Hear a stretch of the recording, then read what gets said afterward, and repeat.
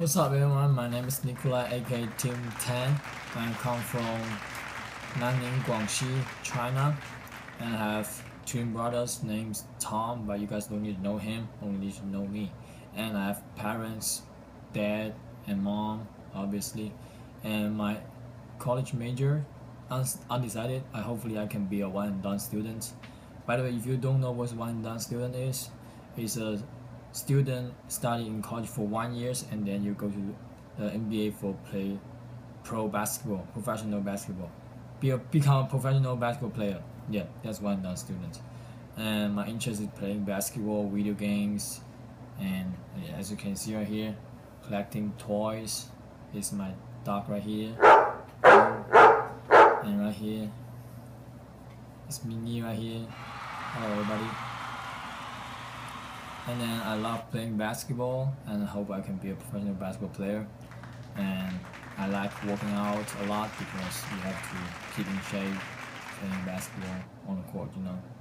And I dislike, I don't like being bored, you know, because it make me feel sleepy.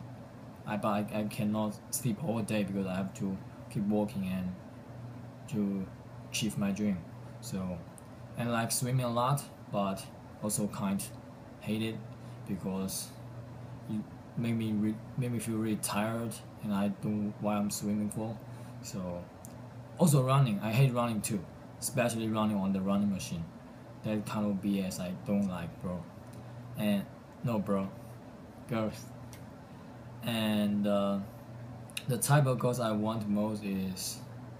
Um, I don't have really requirements for the height, but she must be look pretty absolutely because you know when I look at her I will smile and feel appreciated pleasant and uh, long black hair long black straight hair Chinese version Chinglish and probably that's it and oh she have to be kind and be nice to my friends family and my grandparents, especially me. When I mean especially me, don't mean I'm and, the uh, grandparent. Uh, just she have to okay, be nice to me. That's what I meant. She can't be mad I'm playing basketball and ignore her, because I love playing basketball, and that's it. Bye bye.